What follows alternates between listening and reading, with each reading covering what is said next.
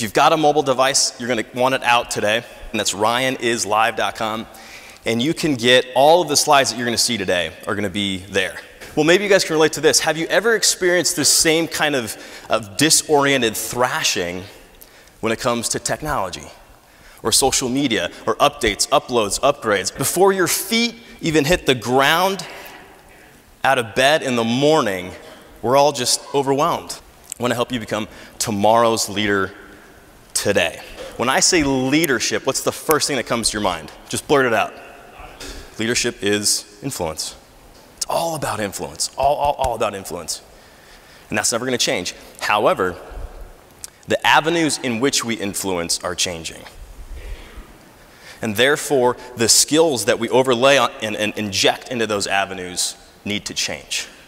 I don't care if you're a student in here and you have no direct reports, or if you're someone in here that doesn't think they're a leader and you live in a van down by the river. You're a leader. Because, bare minimum, you got to lead yourself but every person has some, something unique to share that could inspire and serve others. Leadership is action oriented. You've got to act if you want to lead. And that's now more important and crucial than ever before. With how much flux is in the marketplace, we as leaders have got to stay on top of it. Is if you start looking at the generations, you can begin spotting trends. As our lifespans uh, increase, it's a, it's a reality that we could be interacting with four, five, six, maybe seven different generations in the workplace. So if there's tension now, can you imagine what it'll be like at that point? The greatest equalizer is technology and internet. That has changed the game. And now you have millennials who grew up as digital natives. They are thrusting so much change into the marketplace. Think of millennials as a critical mass of early adopters majority of the workplace is now millennials.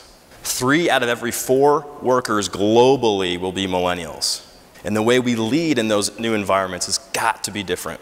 And so, what actually organizations are doing, big organizations that all of you would actually recognize if you heard their name, what they're doing now is they're allowing their new talent to come in their workplace and they're allowing them to choose which leader and which team they want to be a part of. Interesting, right? And what I think is fascinating about this trend is that puts a new accountability on leaders, right? You don't want to be picked last for the kickball team. Uh, if the millennials, bosses, or leaders aren't talking to them, they're pulling their hair out. If they haven't heard from their manager in a day, they're on LinkedIn looking for a new job. And so you take that high pay mentality and you, and you use that to try to motivate the millennials, and they're going to balk at you because they're wanting meaningful work. Be careful when you point to technology to try to blame technology because I think if you're honest and you pull back the layers a little bit, uh, I think at the core of that is a fear of change. Technology is, is accelerating our ambition to learn, it's accelerating our ambition to gain skills, to connect with people, to share our passion. People always say millennials are very, very, very tech savvy. It's not true. They're tech dependent. They don't know a world without devices. You tell me to turn off my phone, I'm going to resent you.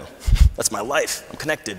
This technology coupled with millennials is going to redefine how we work. It's going to be more project based work. As leaders, we need to be agile, we need to shift because we're going to have to learn how to lead across generations, across time zones, and across cyberspace. Preferences and expectations of work, leadership, and communication of the millennials is going to cause a lot, a lot, a lot of change. But if we're ready, if we're positioned for those trends, uh, there's a lot of fruit, and it's going to be an exciting time. Increased potential in reach means increased potential in influence. If you're not considering social media or you're not in that space, you're severely limiting your influence. It's not about the tools, it's about the reach, who you can influence over and through social media. If you want to be an effective next generation leader, you've got to create context. A lot of times Google's the first handshake now.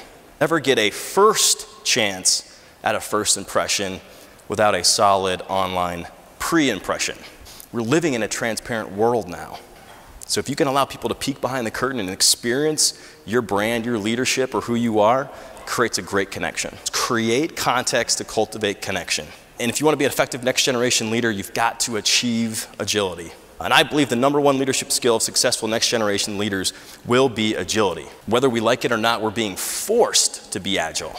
We're being forced to gain new skills. It's the same thing with leadership and how we need to evolve and be agile is you need to put yourself in uncomfortable positions like coming to this conference. Make sure you're, you're putting yourself in environments where you're stretching yourself and you're challenging your own thinking. More nimble thinking is going to help you combat faster than never before obstacles you're going to see tomorrow. And if there's something that you want to learn or you need a skill you need to gain, there's no longer any excuse not to gain that skill. As we gain more next generation skills, um, it'll, it'll help you to attack new markets or foster new ideas with greater tenacity. It is irresponsible not to use the tools of today. So that generation has a knack for adaptability. Achieve agility to adapt and advance. If you want to be an effective next generation leader, you've got to seize simplicity. Seizing simplicity can be excruciatingly complex, but it's absolutely necessary. We live in a noisy, noisy world, so find ways to simplify to cut through the clutter. Taking a 300 word email to two sentences or a three minute video to 30 seconds, that that's hard work. But it's worth it because it's going to resonate and it's going to again cut through that clutter. So simplicity has got to be a theme in your leadership. So technology has gotten easier since you've been ignoring it. Really consider about leaning back into technology. Relentlessly simplify to amplify your results. If you want to be an effective next generation leader, you've got to leverage legacy. What is your contribution to the world as a leader? Are you showing us? Are you sharing it with us? Today's digital age provides a platform to leave a true, lasting legacy. The legacy of those before us was passed on by telling, which eventually fades. In the future, our legacy will be passed on by showing digitally, which can influence forever. Because we're living in a world where it's not pay it forward, it's post it forward. Or it's not word of mouth anymore, it's world of mouth. Every post counts, every tweet matters, every check in is timeless, every picture tells a story, every pin creates context, every video reveals a trait. If the end goal is to influence people, and impact lives, social media is an extraordinary tool. Technology is an extraordinary gateway to influence people. The stuff that we're putting out there at some point is going to be called into consideration. And hopefully you're investing enough in your brand that it speaks well, that it leaves a lasting legacy, that it influences people. Leverage legacy for lasting leadership. Change is as constant as the waves in the ocean. In fact, you probably could go as far as saying change is the only thing constant today. Is change is no respecter of person. Change isn't going to wait for you to catch your breath. Change isn't going to wait for you to find your feet. Change is coming with or without you.